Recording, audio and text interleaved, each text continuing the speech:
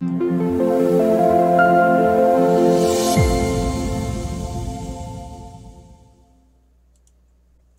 everybody. This is Justin Case of America Newscape, joining our friends and Fig personalities, David and Priscilla, the Fig Hunters, back for another installment of America Newscape. Hello, you two. Welcome back to America Newscape. Hi. Hello, how are you doing? Good. We've we've missed you. We don't know what you've been up to. So, David and Priscilla, with that being said, what's happening? In Uh, it's been an exhausting year. We got way too much uh, water this year.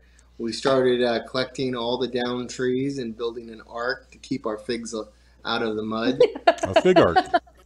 Fig ark, yeah, you got to save. I mean, we're, we've so far we've saved so many genetics, and then this this down, you know, this flood. I mean, of water has been jeopardizing that whole collection. So this is a serious thing. Uh, you got to keep them out of the water so they don't drown. Well, especially for, the little pigs. They don't have branches yet to swim. Okay. Well, for for for everybody out there, David and Priscilla live in uh, the Armageddon uh, rain flow of Northern California. When everybody's been seeing this twenty inches of rain, and uh, it it's been an ordeal up there. oh yeah, well, it, and it's kind of ironic because we, um, over like late fall and beginning of winter, we had been listening to an audiobook that talks about California and its history with drought and flood and then drought and then flood. And that's kind of where we're at is we had had so much dry weather for the last like three years.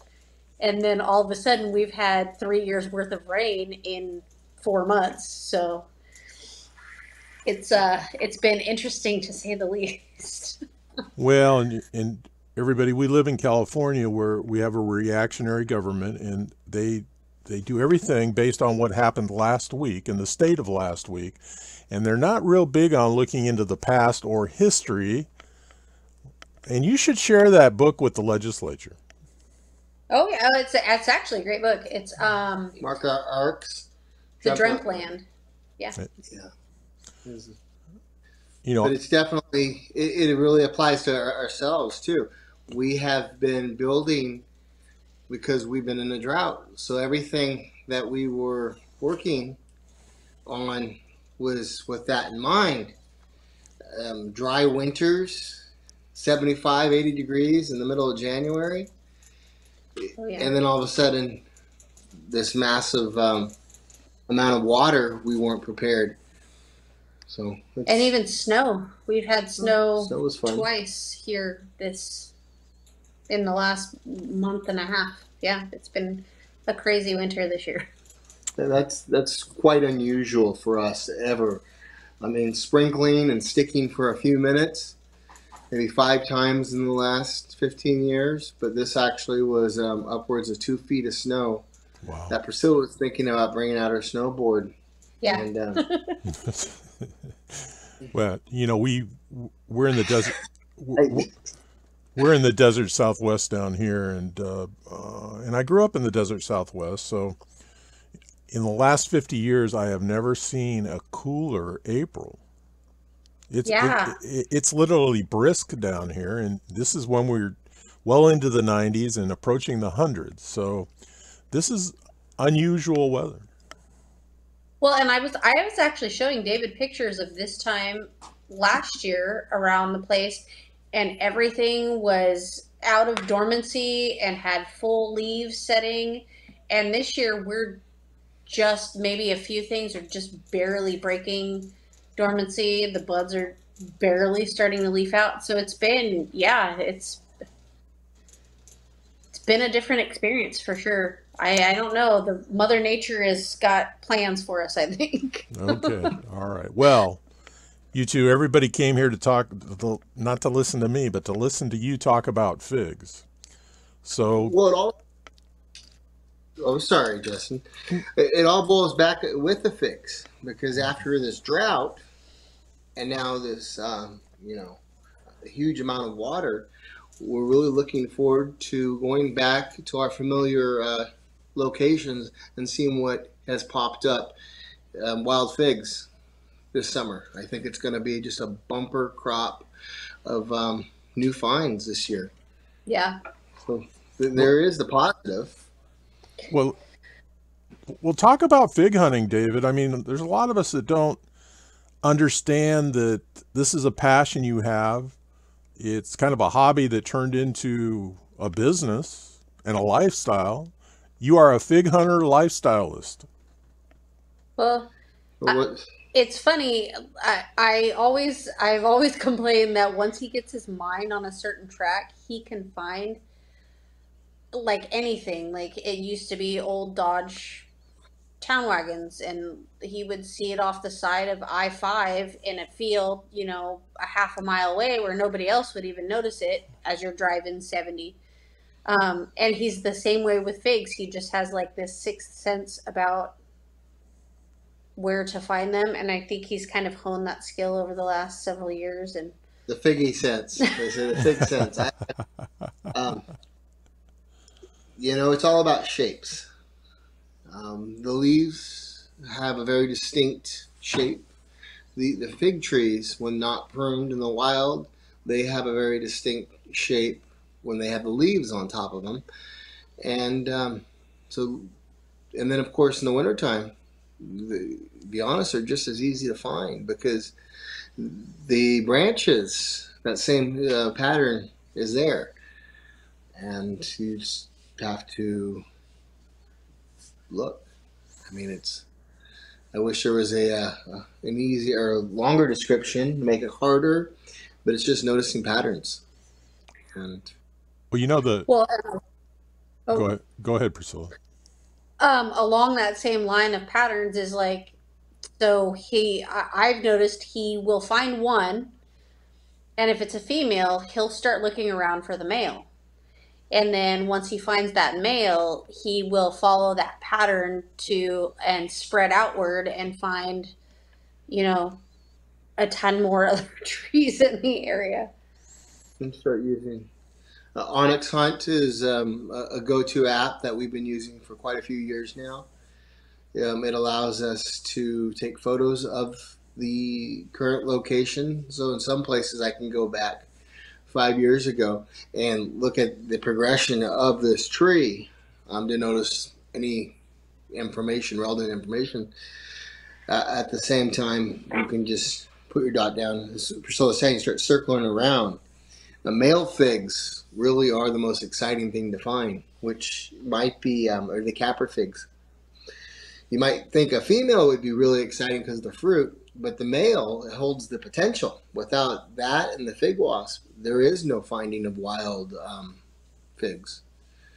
So once you find that uh, male, put a dot down, and it's almost like if you take a string, you know, and you start circling about around the radius to see what else you find, and pretty soon you're starting putting other locations to help draw a, uh, a better picture.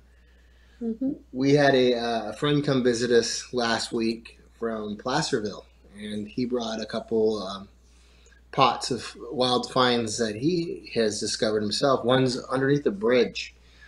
So a lot of us might have seen the, the fig in the cave in um, Italy growing upside down. Well, here is a, a bridge fig doing the same thing.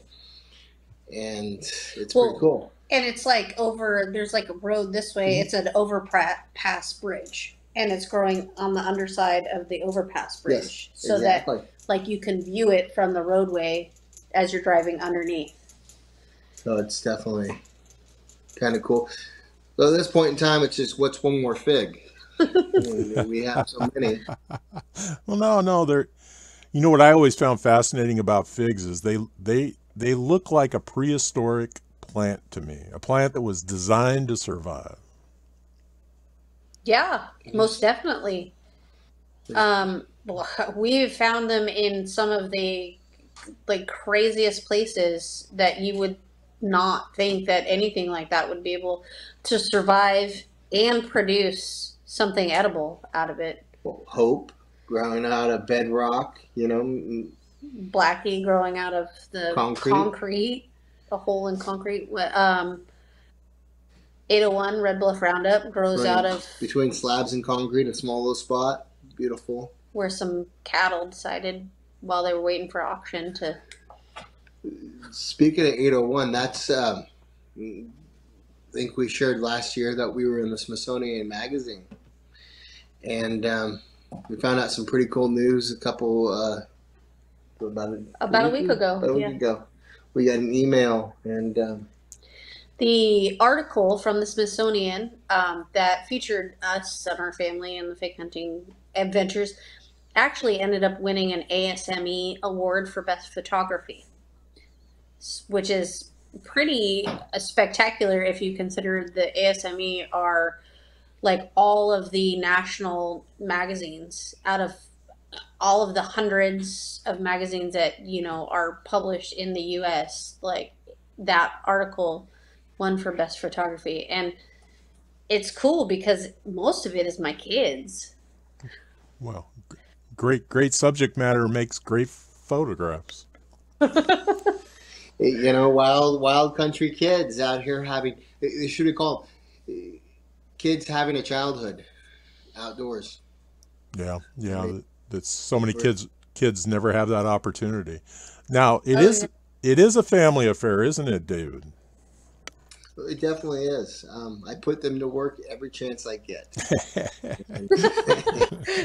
sometimes they enjoy it other times it's you know we actually just recently did um, our two older girls classes got to plant some fig cuttings with us.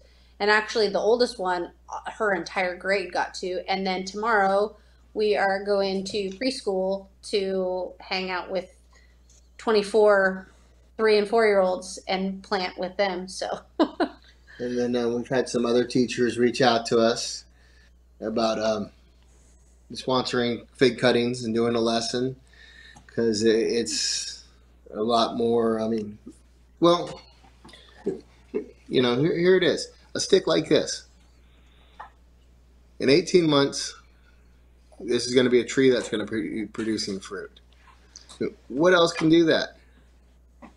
That can grow, you know, eight feet tall and um, under a year.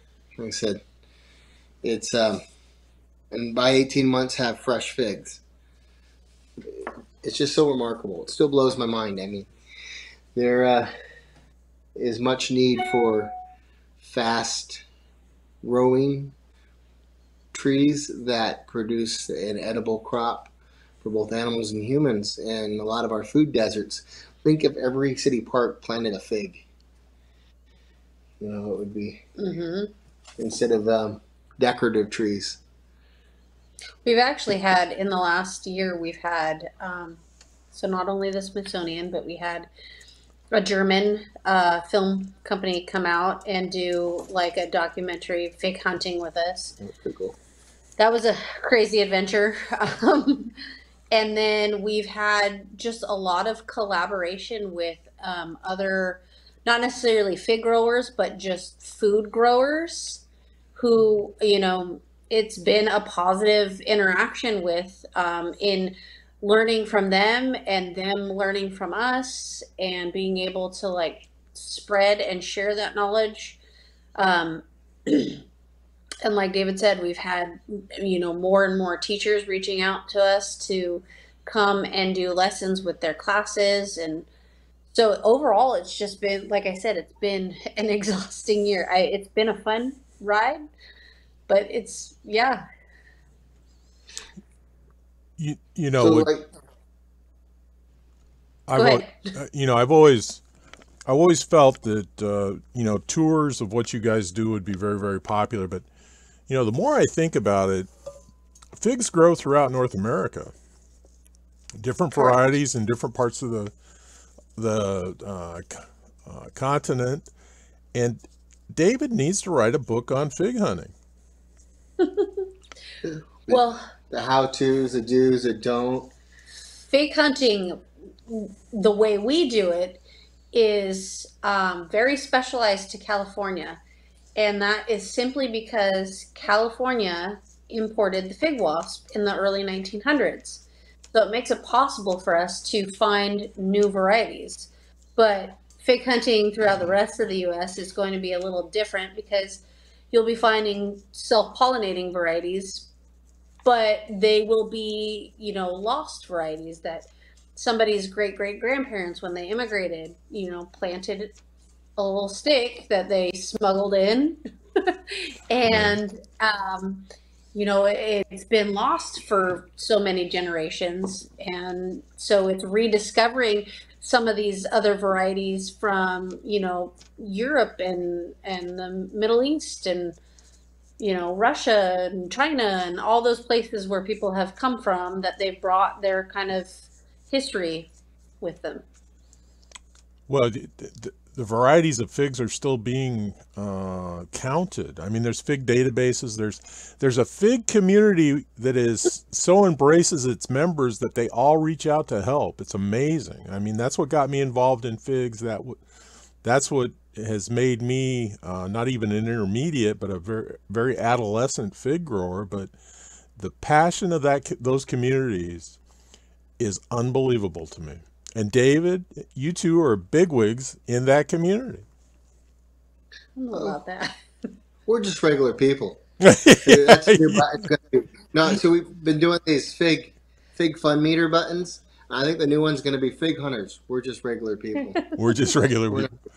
We just put our pants on one leg at a time. Yeah, we're just regular people. Regular. You know, what's education, um, having, answering, and growing because who doesn't want to grow again from a cutting? Um, what if this was your your grandfather brought this to America, and this is your family tree right here? You want a piece, so you're going to want to join a group. We actually um, started. We have two groups now: Fig Hunters and Friends, which was basically um, started to talk about fig hunting. But just last year, we really saw the need for the education and this is, I mean, mainly for North America, but it's called growing figs in containers. Because who doesn't at least at some form start their fig in a container, whether it's a cup, a tree pot, a propagating, and a fig tree in a container needs special care versus versus in ground, yeah. in ground some cases. And it's going to be different based on your growing zone and, you know, where you're keeping it. And I mean, there's so many factors that go into container gardening in general, but with Which figs specifically. Opens up doors too, right? I mean, oh, yeah. You could grow a fig in Alaska. Absolutely. Where you couldn't typically in a container where typically in ground it would not be possible because of the winter. And this is um, heavily prevalent on the East Coast. I mean, they, they they do the bringing the figs out every fig shuffle. The fig shuffle. That's what they call it. Hashtag the fig shuffle. In the winter or in the, the fall, they bring the figs in to their, their garages and their carports or um, their storage uh, sheds and then the springtime, they shuffle the figs back out. I mean, that's devotion. Well, and then if they get a frost warning, they shuffle them back in. They can, yeah. No, this is so growing figs in containers just made sense. And it's like I said, it's all about education. I mean, we have a, a, a major rule: there's no sales in the group. So it's um, but we do offer free giveaways. there's no sale; we can give away free stuff. So that's well, yeah, it's just promoting the continued sharing and, and education. When it, whatnot. Well, it's building the community. You know, you talk about back east. I've actually seen where uh, fig growers build hothouses around in-ground figs to, to winter. you know, big, huge straw covered with tarps with heaters inside to keep their figs oh, yeah. alive. And uh, that's unbelievable. I mean, that that will surpass an orchid grower. Well, that's actually well, I mean, not the straw and everything, but um, all of our starts that we start um, later in the season that you know they're not quite big enough to last outdoors on their own through the winter. we actually we do that. We have a little hot house and we have them in totes and we put them in there and um, and they make it just fine. There's no added heat or anything. It's just the ambient temperature from the sun hitting it during the day and but it's just enough that they're in their little containers and they they make it through. They're pretty durable plants. Uh, we actually just did. Um, we were at the farmers market here locally on Saturday. They were doing a seed exchange uh, for people, just giving away free seeds, and they invited us down to talk about figs and. So we actually gave away a bunch of fig cuttings and um, David did a grafting demonstration and got some kids involved about. He likes to explain it. It's like Star Wars and cloning, um, just to kind of get, you know, Like the the interest from from younger generations eh, um, involved and and teaching them j- like just how hardy this tree can be once you get it growing. So we're sitting at the park, and there's I can just say there's one little boy, and handing out cuttings. I'm, you know, talking about how you can grow this tree in 18 months, and he looks at me, and he must have been about six. He looks at me, and he looks at the tree that's sitting behind me at the park, and he looks at me, and you can, you know, you just see him kind of like he, without saying he, just disbelief of this could be a tree, and I think I made a post someplace that that I just had a feeling that little boy is going to go home and pick up any stick he can and try planting it to see if he can grow a tree. Because he, he really, I mean, like I said, he was sitting there talking to his dad, talking to him, and he's just like, look and look that to a tree. You can just see these wheels turning. And that's so cool because that's our next generation of scientists. I mean, wouldn't that be cool if one day they said, hey, you know, Well, that's what encouraged us? And it's the value of like I know we do it for our kids so that they know where their food comes from. They have from you know babies uh, six months old. They have been a part of everything that we do here. You know they've seen the raising of livestock and you know what happens and why we you know raise them and that that's our meat in our freezer and they've you know they've helped with the birds and collecting eggs and they've helped plant the garden and they help and get to see i just think it's a it's a lost value that is worth educating the newer generation of growers um, so that they understand like this is where your food comes from. Somebody's hands help make this possible. Well, and I would encourage people to think they've had figs um, and didn't enjoy them that they may not have been eating the right figs.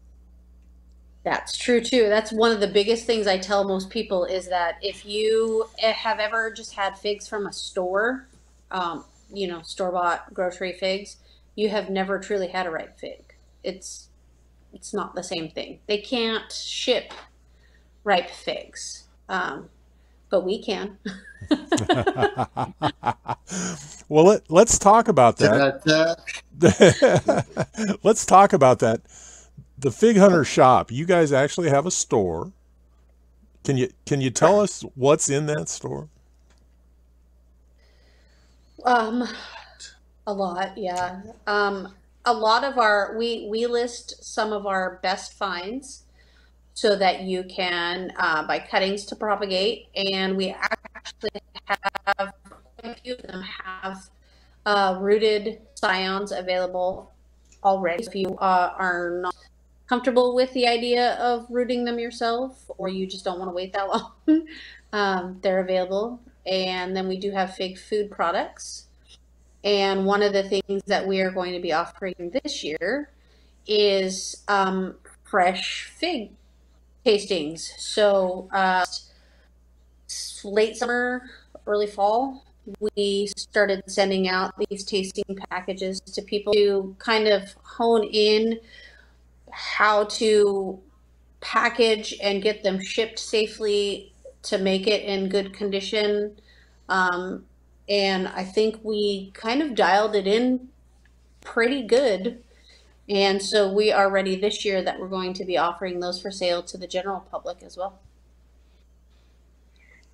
and that's pretty yummy. I mean, say that's pretty. that- That's gonna be pretty pretty fun. What else we're gonna be doing? Um, what else is new with the shop? I think we have the jerky sticks.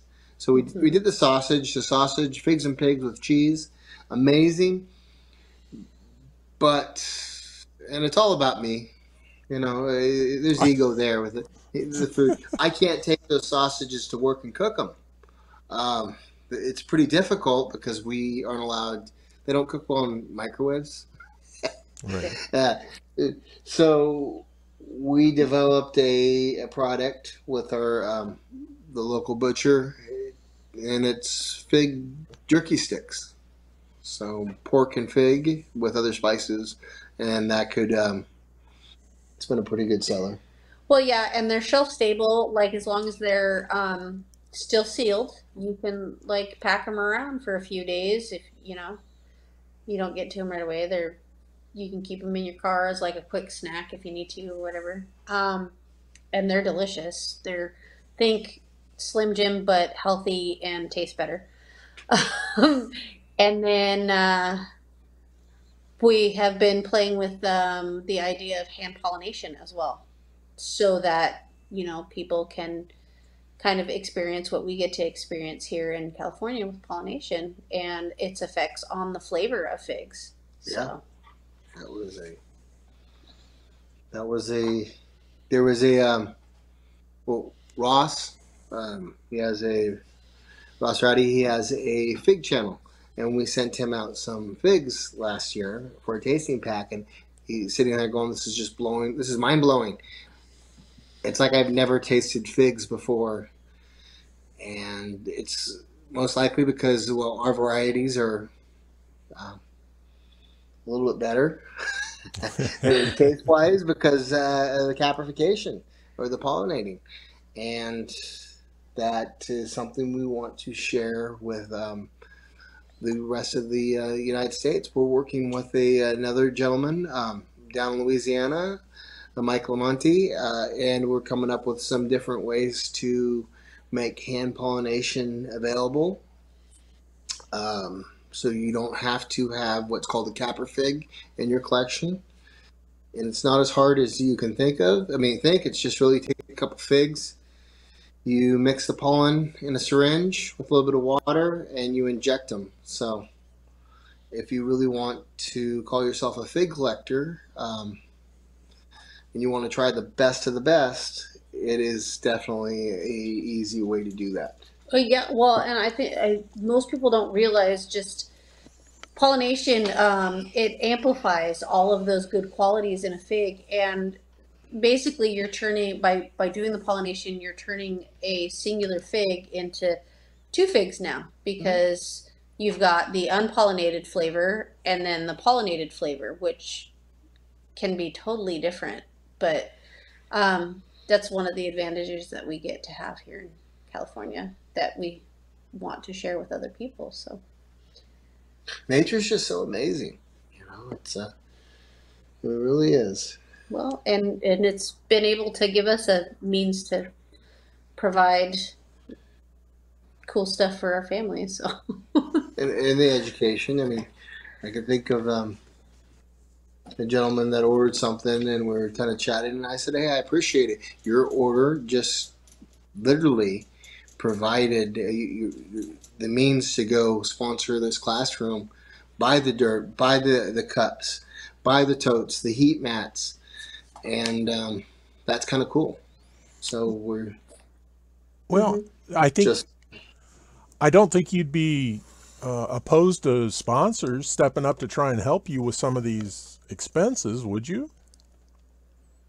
No, it would be nice. Um, I know we have a, a local, um, we have two local businesses that help with the, the dirt sponsor and some of the other products. Well, I I, Um, yeah. I think Yeah. I think that's the next step for some of us. I mean, we can enjoy your store, we can enjoy your your products, uh, your passions, and uh, yeah, but what really sticks in my mind, you're educating the next generations, and uh, what a wonderful gift you're taking to them. And the idea that you might be able to expand that program would give some sponsors some opportunity to be involved. Oh, I would love to. Um, to whatever classroom, you know, it sounds like that is interested in some fig cuttings. I mean, it would be amazing to share. It definitely. Um, well, even you know, if you think if you think about a package being shipped to a classroom in North Carolina, you could actually do some FaceTime with them and walk them through the program. Oh yeah, um, and uh, we so in the middle of COVID, we couldn't go into our girls' classrooms. Uh, we've been doing this with their classes for several several years now. Um, yeah, so in the middle of COVID, we couldn't go in and participate with them. So we actually ended up making a, a video, a YouTube video of, of several different methods that we have used. Um, and we've given them the supplies and their teacher logs in and they're able to watch it and um, and they were able to get it done that way but it's definitely i think it's more fun to be interactive. Oh, sure. um, so so maybe Zoom. We could do a Zoom with a classroom, and um, that way we could you know be live and talking to them. That's definitely an idea. Zoom's so uh, such an amazing tool these days. Um, being able to offer, as Priscilla said, people have issues with potting, or even when it comes down to grafting, being able to offer them, hey, we can do like a two, 10 minute Zoom call and quickly answer your questions, and you can actually see versus telling us through an email, photos, or even over the phone. We can see what problems we can um, you're having, or give you a solution. Some people just want to hear, "Hey, that looks great. You know, you're doing great." for reassurance, Zoom yeah, is definitely a very useful tool. Well, guys, I and, we go ahead. Oh, I was going to say, in this last year, we've definitely seen an uptick in um, interest from new leg growers um, of figs. So definitely well, expanding into. I think that's because you've proven a remarkable resource uh, for all of us, and whether it's information, uh, techn- technology, you know, this uh, pollination thing sounds pretty exciting to us. We don't have the wasp because no respect, self-respecting wasp would endure 120 degrees in the summertime. but uh, the figs will, and the figs do quite well down here because they mm-hmm. they love the heat and they love the soil, particularly certain varieties. But tell us how people can reach out to you. I know you've got a YouTube channel, uh, Facebook, you have your Facebook groups, website, and we'll provide all those links in the read more. What else would you suggest? Um, we, we have well, we have a one eight hundred number, or well, yeah. So we have an eight hundred number you can call. It's toll free 844 344 4687. Um, it rings to both of us, so Uh, if nobody answers, then it means that we're really busy. We can't get to the phone, uh, but we will call you back. Um, like you said, we have the website, um, thefighunter.shop, and then we are on all social media platforms uh, Instagram, Facebook, YouTube, Twitter, TikTok as the Fig Hunter. So you just type in the Fig Hunter and you can find us pretty easy. Well, that's pretty cool. this is definitely going to be an amazing year. We'll, even in August, we're going to have another get together in Winters, California um, for fig tasting. And it's just, as Priscilla said earlier, everything's just kind of busy. It definitely is busy. It's and been the um, that's sorry. a that that's a testament to you guys and uh, you know the passion and the hard work you put into it. Why don't? Is there a final thought you want to leave us with? Um, we just I think just want to thank everybody who's going on the adventure with this. I think it's pretty awesome that so many people are, you know, invested in our family and what we do and are becoming invested in, you know, growing and doing this awesome thing for their families as well. I totally concur. I mean, I really appreciate that you've been a, a strong supporter of us since the beginning. And we have a couple others that have just been um, cheerleaders for Dreams. And one of them is Charles Malki um, of Ivy Organics. He's been just a great supporter. And he does a, a free fig giveaway. This is the sixth year. Mm-hmm. Every the, February. The third year we've sponsored. It's some, you know, some like-minded people that um, encourage dreamers because that's what you know. We, I'm a dreamer. I dream of saving every fig that I find and adding it to our collection whether it tastes good or not, it's going to be a tree out there that is just um, one day people can come visit and just be amazed. And we, so, I guess uh, finding figs and making friends. How cool is that? That's what. We're... Mm-hmm. Well, I, I want to personally thank you guys, and and we're all. I think most people watching are proud of what you're doing. So everybody, this has been Justin Case, David and Priscilla, and the Fig Hunters. Thanks for joining us. Remember, additional information and links provided in this video is read more. Today's the day to subscribe to this channel. Please learn more about figs and the Fig Hunters.